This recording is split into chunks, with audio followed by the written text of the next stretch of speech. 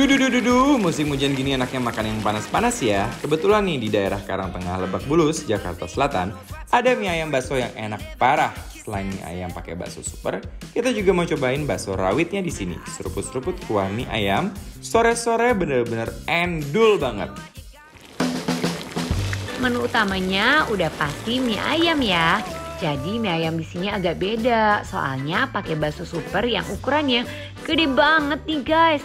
Jangan lupa dikasih topping potongan ayam yang gede, sawi, daun bawang, bikin mie ayam bakso ini membuncah di pokoknya di mulut. Makanan pedas emang paling jago ya kalau bikin kita ketagihan. Termasuk bakso rawit yang rasanya nendang banget. Bayangin aja, rasa baksonya yang simple udah enak. Biarpun bikin pedas, tapi kita nggak bisa berhenti ngunyah. Ayo para pecinta pedas, rapat guys!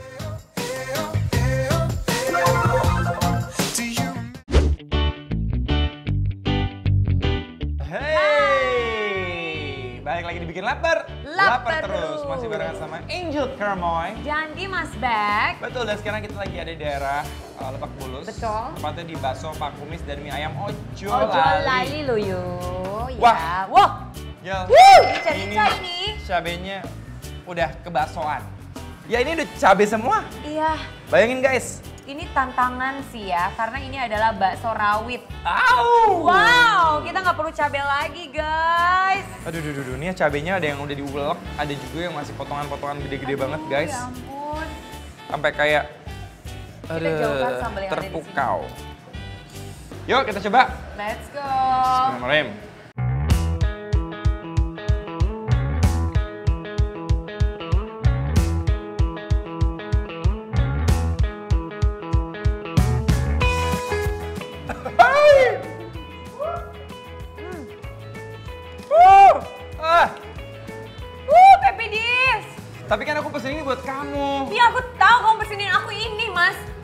Ya udah makanya sekarang aku pesen kamu bakso yang ada rawitnya. Kalau kamu sanggup, aku akan mencintai kamu seumur hidupku. Ya Aku- udah kalau gitu aku sanggup. Oke.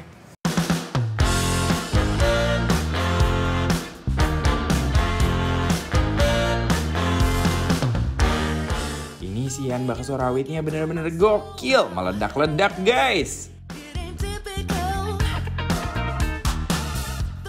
Wow guys, Wow. Ini baksonya pedasnya ngejelegur banget, bener-bener ancaman totalitas ya. Tapi kalau menurut aku kuahnya tuh Ya. enak banget dan Betul. baksonya tetap gurih. Tetap gurih Jadi ya. nggak cuma cabe, cabe, cabe dan cabe, tapi ada gurih, gurih, gurih dan gurih. Berarti masih bisa dinikmatin, nikmatin, nikmatin Masih, ya. pokoknya kalau kalian penggemar pedas, suka banget sama bakso yang rawit-rawit gitu. Ini Yes. bakso Pak Kumis, Ojo lali. bener-bener ojo lali. Ojo ya. lali cobain. Ojo lali. Cobain. Bibir kamu merah banget loh. Iya, aku kepedesan. Uh. Parah. Oh, oh, Ini bakso bikin surprise banget di mulut. Terasa kaget-kaget manja gitu. Nah, selanjutnya kita ada mie ayam bakso super. Kenapa dia bilang super? Karena baksonya itu isinya daging cincang. Dan Wow. ini harganya guys cuma 25 ribuan saja. Sekarang kita aduk dulu ya guys. Ini mie-nya banyak banget loh, jujur banyak banget. ini mie-nya banyak Dan banget. ini tuh mie ayam Anwar nih yang suka banget mie ayam kayak gini. Ah. Waktu itu Anwar pernah nanya di grup bikin lapar nih. Ah, ah. Mie ayam yang enak gimana nih enak nih War? Coba. Emang paling pas banget nih nyore-nyore sambil nyeruput mie ayam yang anget ini.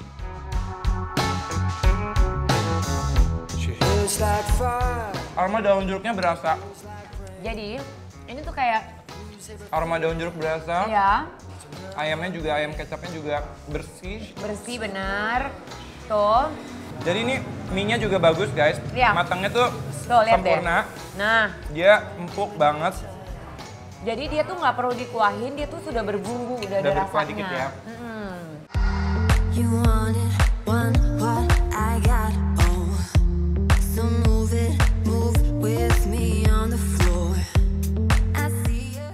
Bener-bener termasuk mie ayam yang enak banget. Racikan bumbunya pas dan ayamnya juga banyak. Wah baksonya bener-bener mengancam nih. Oke, racik. Sekarang saatnya kita racik. Karena tadi kita udah makan pedes banget, sambalnya sedikit aja ya. Gak lengkap kalau makan mie ayam polosan aja, tambahin sambalnya dong. Wow. Nih guys, udah pakai sambal yang merona. Aduk-aduk dulu. Aduk-aduk ya. Jujur mie ayamnya enak. Jujur ya betul. Mie Ya, ayamnya lezat. mie ayamnya ojo lali banget. Oh, jolali. Dan untuk harga 25.000 zaman sekarang, Worth it. guys, oke banget. Oke banget.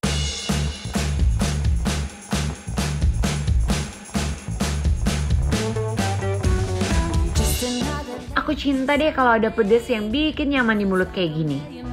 Baksonya juga enak, mengkel. Tuh. Kenyal ya. Hmm.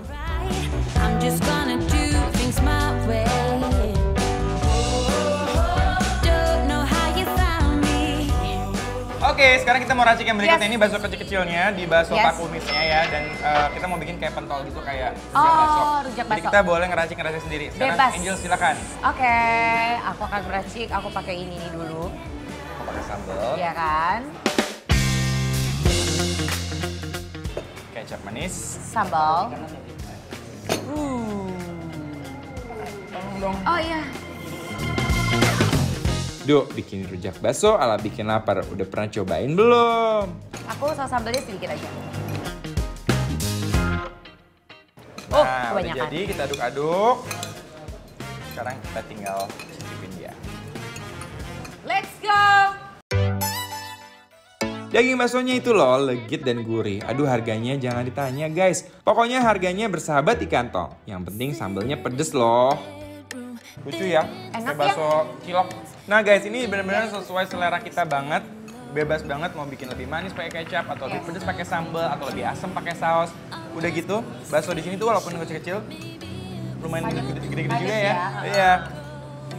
Baksonya padat, dagingnya juga enak. Nah, kalau bakso yang halus itu cuma 15 ribuan doang loh guys. Oke loh. Oke Kan loh. hari gini 15 ribu. Oke banget. Totol-totol gini ya kan. Ini tuh enak banget ya kalau dibungkus pakai plastik tuh tuh, tuh, tuh, tuh, pakai kayu gitu ya kan. Endul deh. Ini sih cocok buat yang mau ngemil-ngemil bakso sambil nonton bikin lapar.